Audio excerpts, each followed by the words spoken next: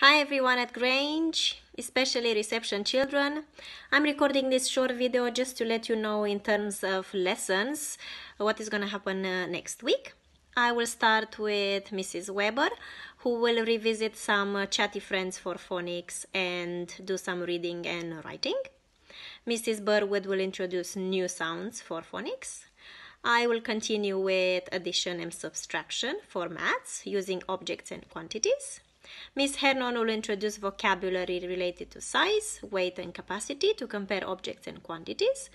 Mrs. Savage, Mrs. Lacey, and Mrs. Barnes will cover some topic and PSHE activities. Please do not forget to watch the um, videos in nursery as well with Mrs. Matuszescu, Ms. Rodriguez, and Mrs. Smiley. Uh, any work that you complete, please submit at reception at grange.harrow.sch.uk. See you later.